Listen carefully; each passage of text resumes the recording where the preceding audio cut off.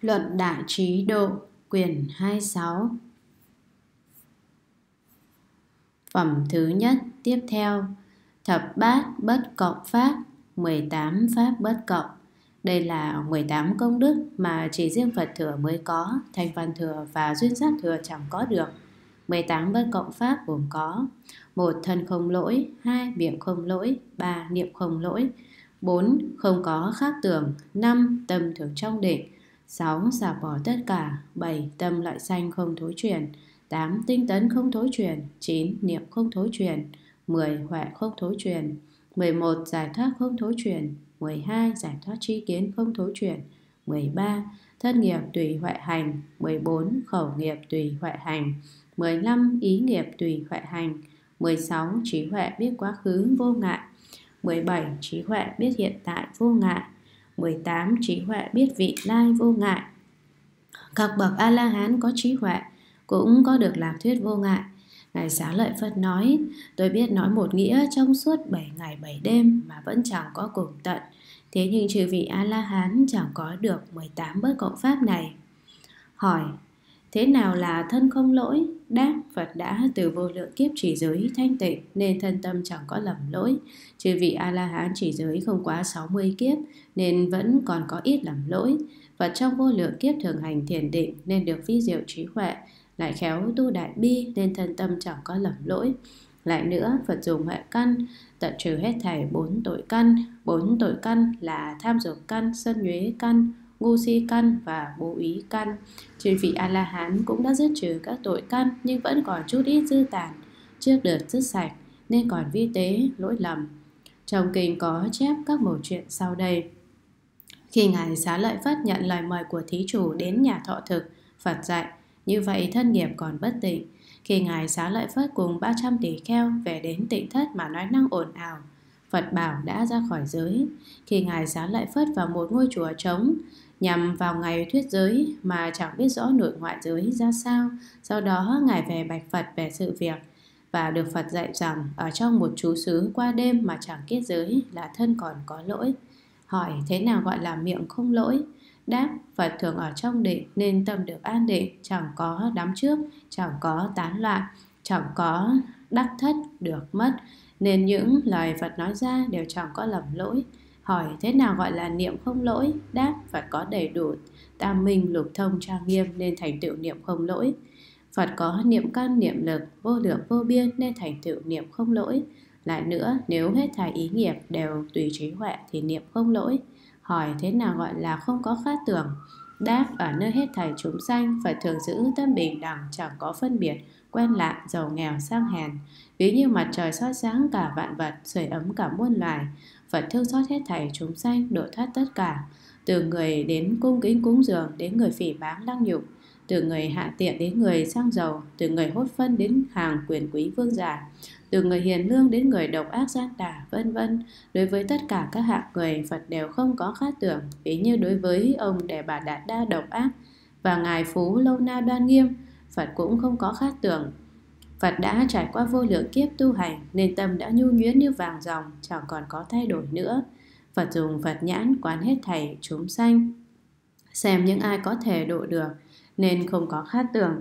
Phật thường quán chúng sanh từ vô thủy đến nay đều là tự tánh bất sanh bất diệt, mà chính chúng sanh lại chẳng biết rằng nơi mình thường có tự tánh thanh tịnh niết bàn, nên Phật không có khát tưởng. Lại nữa, đối với các pháp thiện, cũng như đối với các pháp bất thiện, tâm Phật thường như như bất động, chẳng có tăng chẳng có giảm nên không có khát tưởng. Hỏi, thế nào gọi là tâm thường trong định? Đáp, Phật thường ở trong định nên tâm thường thanh tịnh, chẳng có não loạn, chẳng khởi các nghiệp ở thân, khẩu và ý. Hỏi, nếu nói Phật thường ở trong định chẳng có khởi các nghiệp ở thân, khẩu và ý, thì vì sao Phật lại đi thuyết pháp? Đáp, Phật thường ở nơi thật tướng định, chẳng khi nào mà tâm chẳng định, nên dù đi thuyết pháp mà Phật vẫn thường ở trong định Do vì Phật là bậc nhất thiết trí Thường ở trong định nên chẳng bao giờ lầm pháp. Tuy ở trong các pháp sanh diệt thường đoạn Mà Phật vẫn biết rõ hết thảy pháp Đều do duyên hòa hợp sanh, Đều như huyễn như hóa, Đều chẳng thật có, Nên chẳng bao giờ lầm pháp. Phật có vô lượng công đức chẳng thể nghĩ bàn, Lại có 18 bước cộng pháp rất thẩm thâm Nên chẳng bao giờ lầm pháp. Lại nữa, pháp tạo của Phật mênh mông, Chẳng có thể nghĩ bàn nên Phật chẳng bao giờ làm pháp. Hàng chư thiên còn có được phước đức vô lậu hướng nữa là Phật thường ở trong định. Hỏi thế nào gọi là biết xả bỏ tất cả? Đáp, chúng sanh có ba thứ thọ là thọ khổ, thọ lạc và thọ vô ký. Khi gặp khổ thì khởi sân nhuế, khi gặp lạc thì mừng rỡ, không khổ cũng không lạc thì ngu si. Người chẳng biết khổ lạc là người độn căn, người nhiều giác quán là người nhiều khổ lạc, người vô trí là người chẳng biết khổ chẳng biết lạc. Trái lại, Phật ở nơi chỗ không khổ không lạc mà vẫn hay biết, khi sanh biết sanh, khi chú biết chú, khi diệt biết diệt. Bởi vậy, nên nói thường biết xả bỏ tất cả. Hỏi nghĩa của xả như thế nào? Đáp, chẳng thọ khổ, chẳng thọ lạc gọi là xả. Đây là nghĩa nêu trong bảy giác chi. Lại nữa, chẳng hôn trầm, chẳng trạo cử. Hành, tịnh tưởng thì mới gọi là bình đẳng xả. Hết thầy các pháp, dù cạn, dù sâu, dù thô, dù tế, Phật đều biết rõ, nhưng biết rồi Phật liền xả, chẳng còn đắm chấp. Hỏi, vì sao Phật hỏi Ngài Nan Đà thế nào là biết thọ sanh, thọ trú thọ diệt? Đáp, biết có hai cách, đó là một Tâm biết khổ thọ sanh, biết khổ thọ trú biết khổ thọ diệt. Hai, khi biết khổ thọ diệt thì biết lạc thọ sanh, biết lạc thọ sanh rồi thì biết lạc thọ trú biết lạc thọ diệt. Như vậy nên chẳng có khổ, chẳng có lạc, là biết được biệt tướng và tổng tướng của khổ lạc. Bởi nhân duyên vậy nên Phật chẳng có gì là chẳng biết nhưng chẳng có gì mà chẳng xả. Hỏi thế nào gọi là bất động, không thối chuyển? Đáp, góp chung với các bất cộng pháp số 7, 8, 9, 10, 11, 12, tâm Phật bất động không thối chuyển. Tâm loại sanh không thối chuyển, tâm tinh tấn không thối chuyển, niệm không thối chuyển, huệ không thối chuyển, giải thoát không thối chuyển, giải thoát tri kiến không thối chuyển. Như trong kinh nói, tất cả những gì Phật làm đều lợi ích cho hết thảy chúng sanh, dẫn đến hơi thở ra vào của Phật cũng là như vậy. Chúng sanh nghe hơi thở ra vào đều đặn của Phật cũng sanh được tín tâm thanh tịnh ái lạc Phật. Chư thiên nghe hơi thở của Phật xả bỏ được năm dục, phát tâm tu thiện. Hỏi thế nào gọi là các nghiệp ở thân khẩu ý đều tùy tùy trí huệ hành? Đáp, góp chung các bất cộng pháp số 13, 14 và 15. Do các công đức như đã nêu trên đây, nên các nghiệp thân khẩu ý của Phật tùy trí huệ hành, nghĩa là đều được trí huệ dẫn đạo. Hàng thách văn chẳng được như vậy. Ví như trường hợp Ngài A-la-hán tất lăng già bà sa mắng vị thần sông là con tiểu tỳ khi Ngài muốn sang sông, chứng tỏ thân khẩu nghiệp chưa tùy trí huệ hành vậy. Hỏi, vì sao hàng ngoại đạo chẳng có tin Phật mà phải vẫn cứ đến với họ, vẫn nói Pháp cho họ nghe? Vì sao Phật lại mắng một số đệ tử là đồ ngu si, mắng ông để bà Đạt Đa là người chết rồi chưa chôn? Vì sao Phật chế giới cho hàng tỳ kheo dùng bát thiết mà Phật lại dùng bát ngọc? Trái lại, vì sao Phật chế giới cho hàng tỷ kheo được đắp y giống như Phật? Tất cả các hành động như vậy của Phật có phải là tùy trí hệ hành không?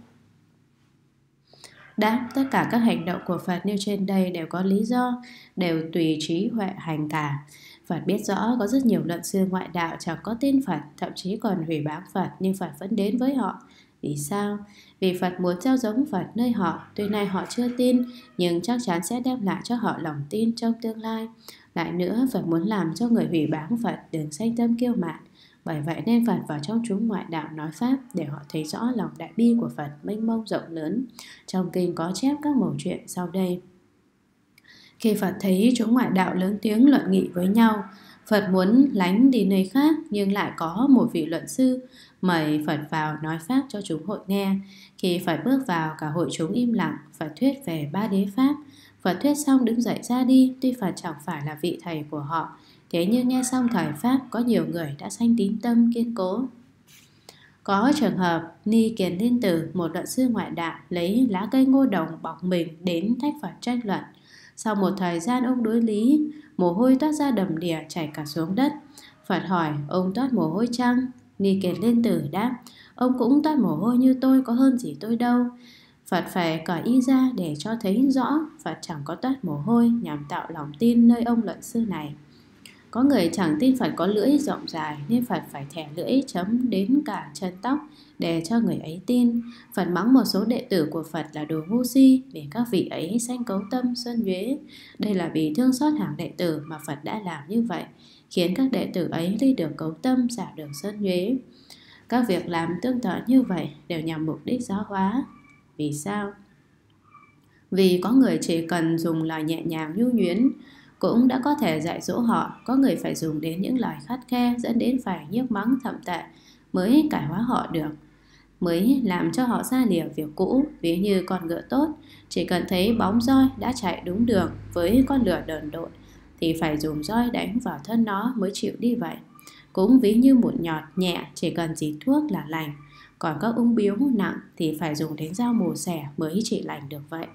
Lại nữa khẩu thuyết có năm thứ là ý ngữ lời nói bóng bẩy lời nói vô ích ác khẩu lời mắng nhiếc vừa ác khẩu vừa ý ngữ vừa ác khẩu vừa vọng ngữ lưỡng thiệt nói hai lưỡi nói đâm móc Phật chẳng có phiền não nhưng chỉ muốn giáo hóa chúng sanh vì tha thiết muốn đưa chúng sanh ra khỏi các khổ nạn mà Phật phải phương tiện dùng các thứ khẩu thuyết.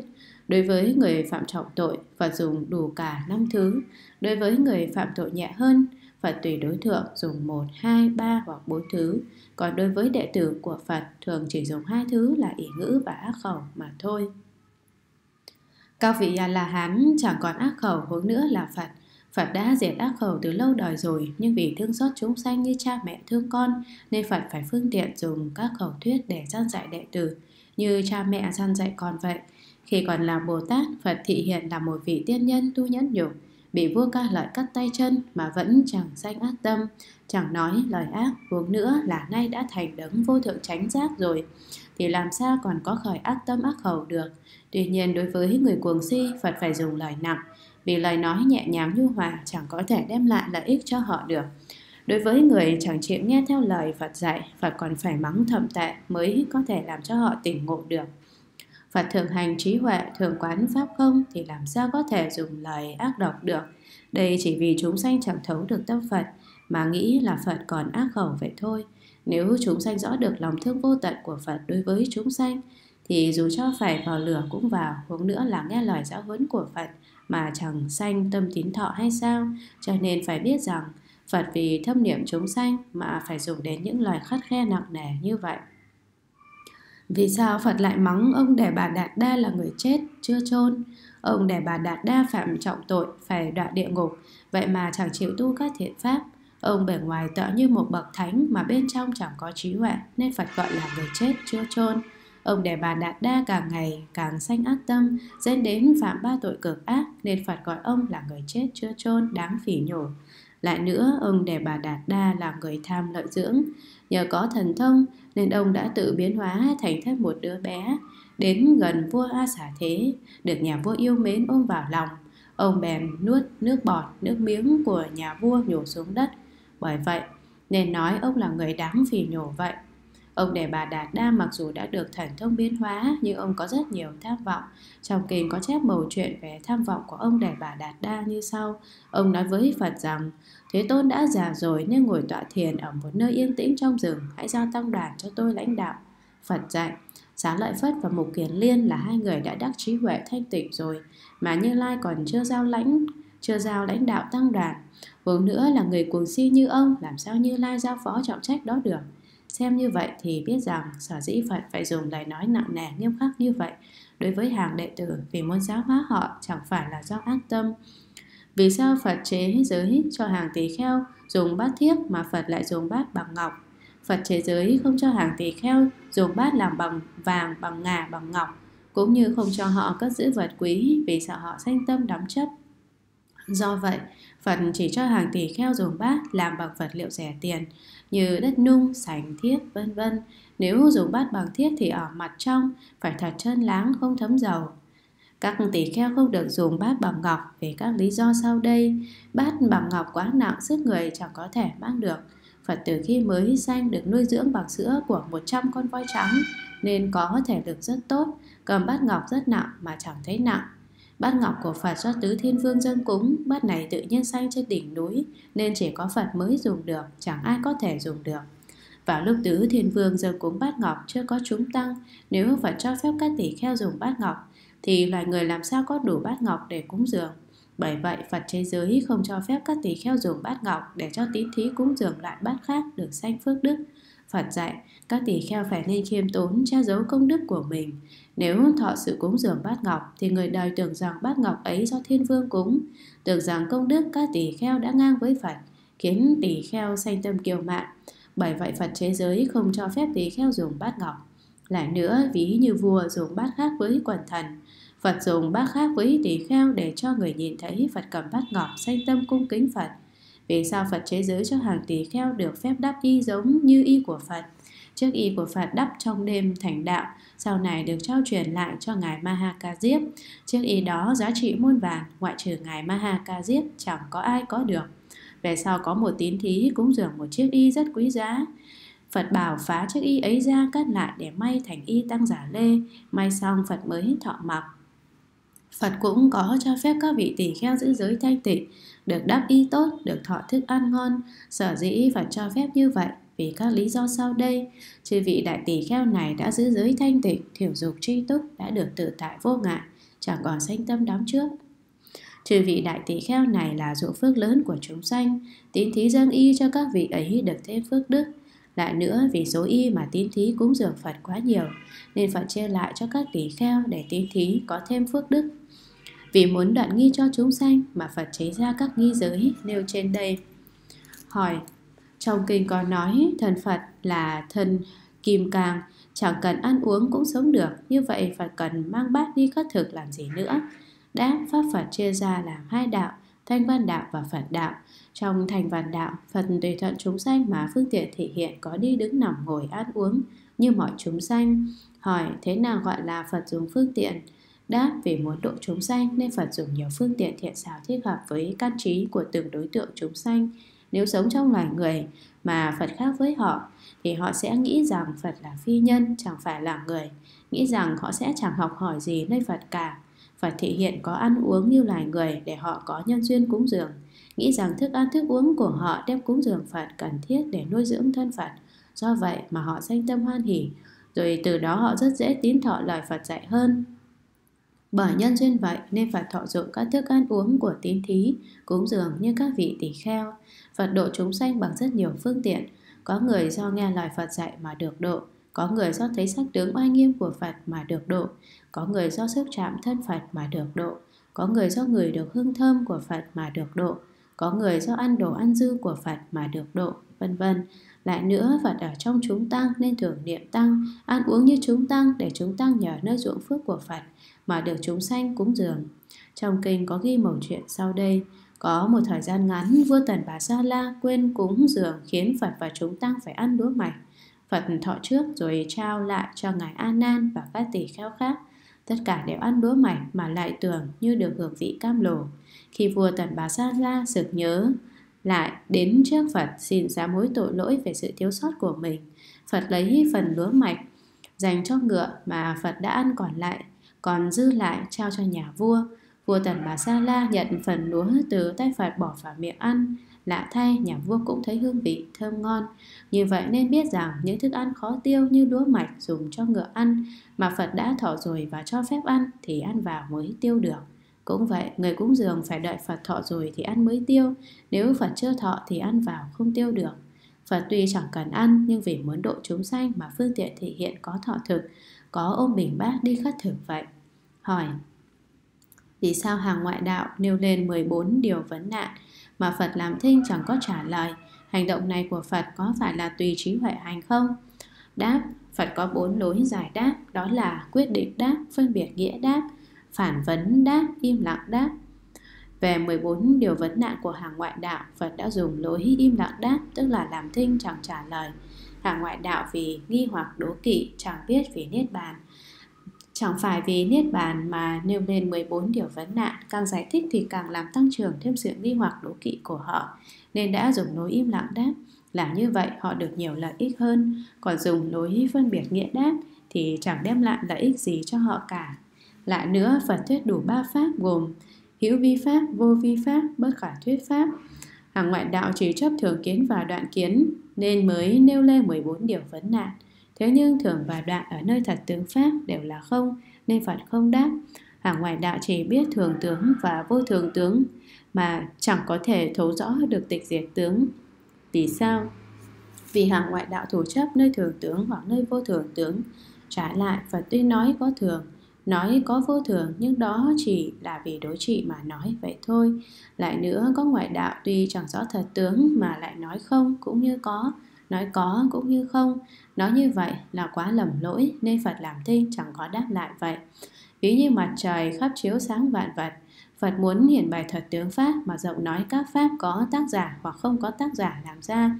Nói có hoặc nói không, nói các nhân duyên sanh giả bệnh chết, nói có vô minh duyên hành, có hành duyên thức, vân vân.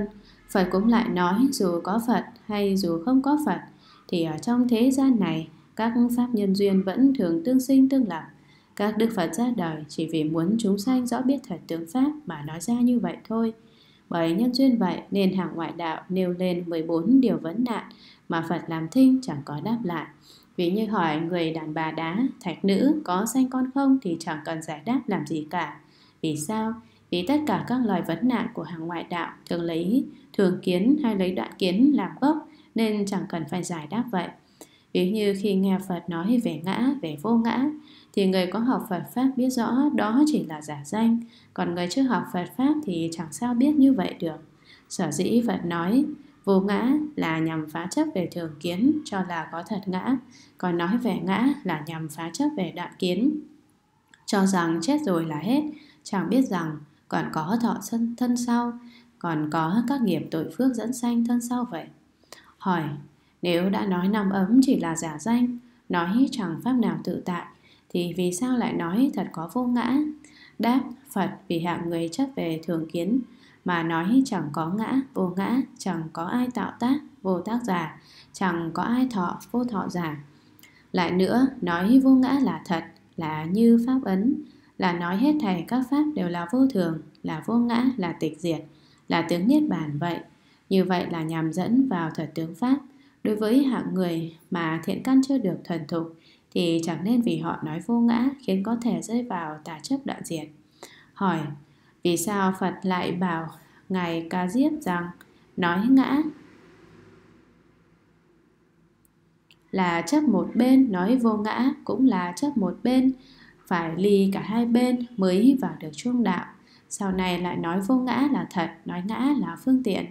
Đáp vì hai hạng người này sau đây mà nói vô ngã, đó là hạng người chấp tướng vô ngã, hạng người phá ngã. Người không chấp vô ngã mới là người xả ly, nên Phật dạy trước nói vô ngã nhằm phá chấp một bên, sau cũng nói vô ngã nhưng đó là nghĩa trung đạo là pháp vấn vậy. Lại nữa có hai nhân duyên mà Phật nói về ngã và vô ngã, đó là ngã chỉ là tùy thuận thế gian mà nói, vô ngã là y theo đệ nhất thật tướng mà nói. Như vậy tùy theo trường hợp mà Phật nói ngã hoặc nói vô ngã cũng chẳng có lỗi lầm gì cả. Hỏi nói có ngã hữu ngã tức là có, nói vô ngã tức là không, làm sao có thể là vừa có vừa không được? Đáp chẳng phải như vậy, Phật dạy không phải được hiểu theo hai nghĩa. Đó là chúng sanh không và pháp không. Phật nói vô ngã nhằm khai thị chúng sanh không và đồng thời cũng khai thị pháp không. Phật nói ngã khai thị ngã là giả lập, chỉ có giả danh giả tướng chẳng thật có, để không còn chấp nữa. Vì sao? Vì chúng sanh chấp năm ấm đều có tướng ngã rồi cho đó là thật ngã. Bởi vậy nên nhằm phá trừ chấp ngã mà Phật nói năm ấm là vô thường, là khổ, là không, là tướng tịch diệt niết bàn chỉ có nơi danh tự mà thôi. Như trên đây đã nói rằng đối với ngã, đối với hạng người chấp đoạn diệt thì chẳng nên vì họ nói vô ngã. Chấp về đoạn kiến có hai trường hợp, đó là chấp chẳng có đời sau, chẳng có tội phước, chẳng có thọ quả báo khổ lạc. Đối với hạng người này phải nói có ngã, hữu ngã, phải nói có đời này, có người sau, có tội phước, có thọ quả báo khổ lạc, chấp hết thảy các pháp đều là không trơn. Đây là tà kiến về đoạn diệt.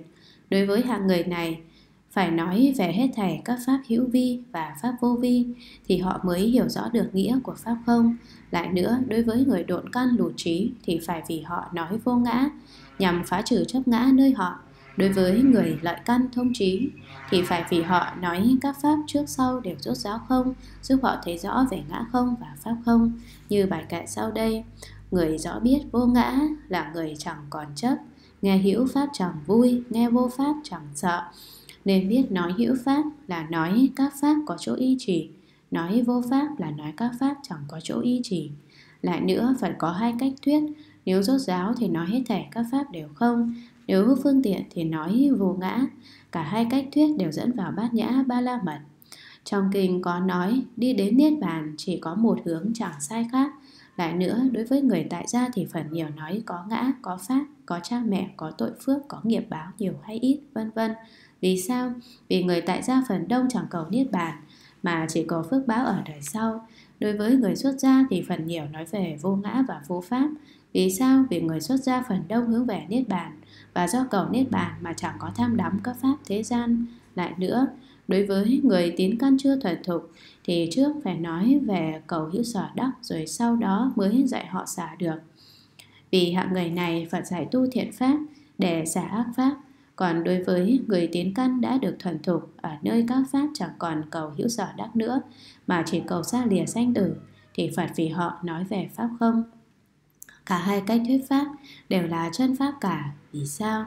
Vì hết thảy các pháp chỉ là giả danh, chẳng có lớn nhỏ, chẳng có ngắn dài, chẳng có gần xa, chẳng có tốt xấu. Bởi vậy, nên dù thuyết có hữu, dù thuyết không vô, cũng đều như nhau cả. Có thời Phật thuyết theo nghĩa thế tục, có thời Phật thuyết theo đệ nhất nghĩa, nên nói thuyết có ngã, hiếu ngã hay thuyết vô ngã cũng đều là thật pháp cả. Hỏi có và không, hữu và vô đều là thật pháp cả, như vậy vì sao phải thường tán thán không mà lại bỏ hữu? Đáp, không nghĩa là vô sở hữu, là như pháp tạng của chư Phật và chư hiền thánh trong khắp mười phương là bát nhã ba la mật vậy. Trong phẩm trúc lụy, Phật nói bát nhã ba la mật là pháp tạng của chư Phật ba đời khắp mười phương. Bát nhã ba la mật là không, là vô sở hữu. Khởi đầu Phật nói về hữu pháp để giáo hóa chúng sanh, rồi dần dần dẫn chúng sanh vào trong vô sở hữu tạng.